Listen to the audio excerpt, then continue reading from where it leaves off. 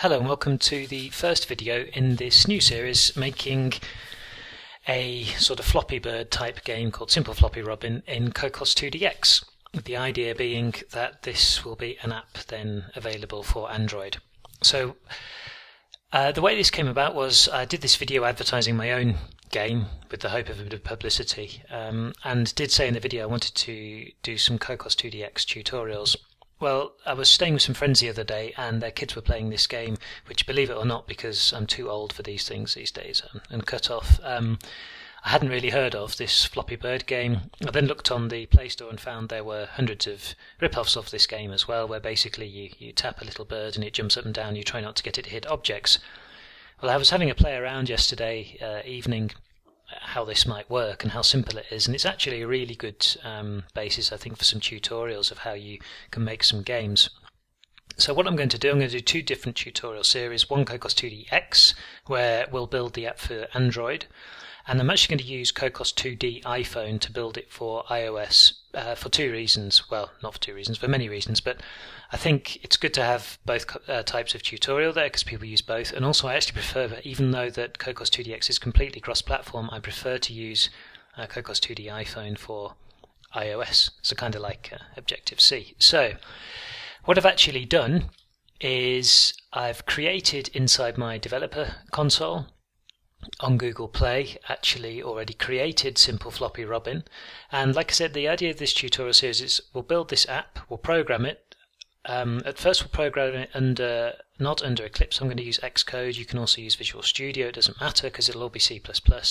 And later on, the reason I've done this and made the APK uh, or made the basis to load up an APK here is I want to be able to integrate the Game Center so achievements and leaderboards, and also an advertising banner so you can see during the tutorial how you actually go about doing that with C++ code and the Java layer in Android because that can be quite tricky.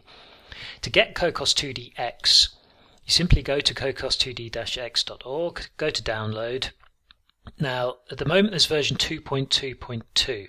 I'm going to be using, however, version 2.2.1 for this series. So if you click on looking for an older version, you'll then find it available in the downloads here. And I'd recommend you do that because they do some subtle bug fixes which can make your code change um, in, in a way that might mean the series might not work properly. I don't know, it probably will work with 2.2.2, but just to be safe, use 2.2.1 please.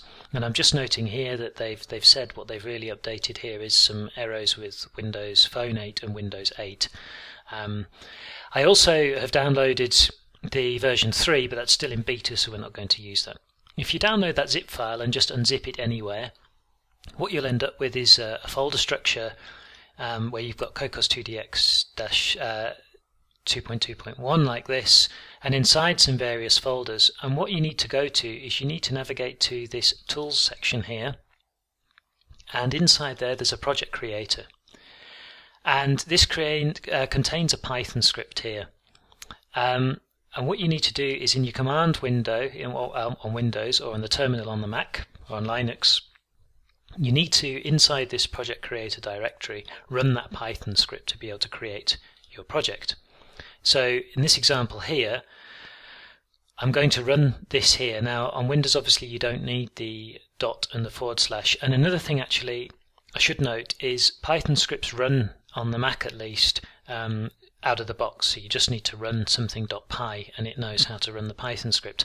I don't know whether this is the case in the Windows, but I'm sure if you type into Google how do I run a Python script, you'll find some very simple instructions on how to get Python up and running, just in case this doesn't work for Windows users. And I also think, if I remember correctly from my um, Linux computer, it should run straight out of the box on Linux in the terminal as well. So you want to type uh, create project underscore uh, create underscore project.py for pi dash project space. Then the name, I've called it simple uh, flappy robin. And then dash package, and please don't use this package name for later on because I'll be uploading the package with this name. But I'm going to call it com.bluefever.simple flappy robin, and then dash language dot cpp.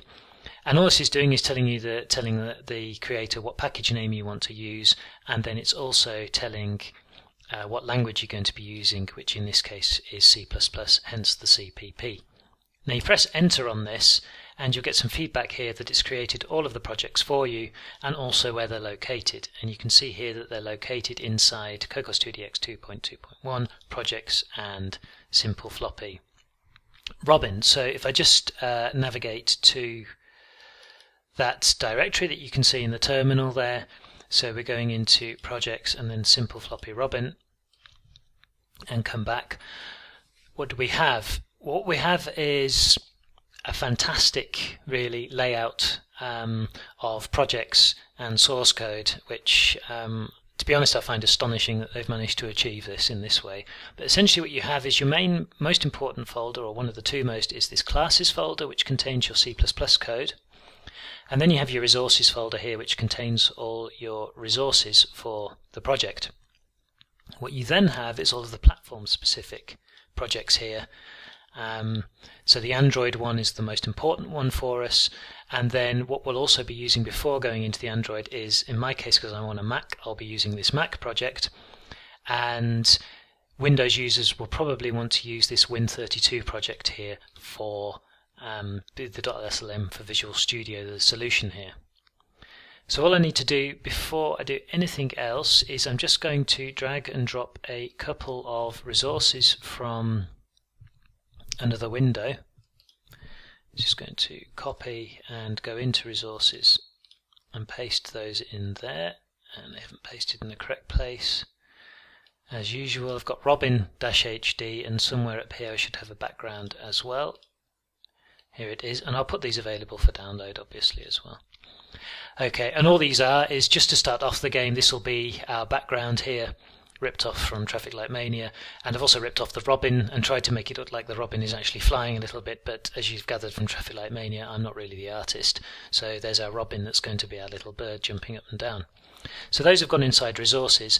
And now for developing this app to start with, before we go into Eclipse and Android, because the setup there um, and things associated can be quite tricky when you first go into it, um, we can get all the C++ done and out of the C++ code, sorry, done and out of the way without actually um, needing to delve into the Android by using, uh, in, our, in my case, on the Mac Xcode, and like I said, on Windows, you'll probably want to use um, the .sln solution. And I guess on Linux, um, if you're already pro- programming in C++ with Eclipse, then you'll go straight into the Android project.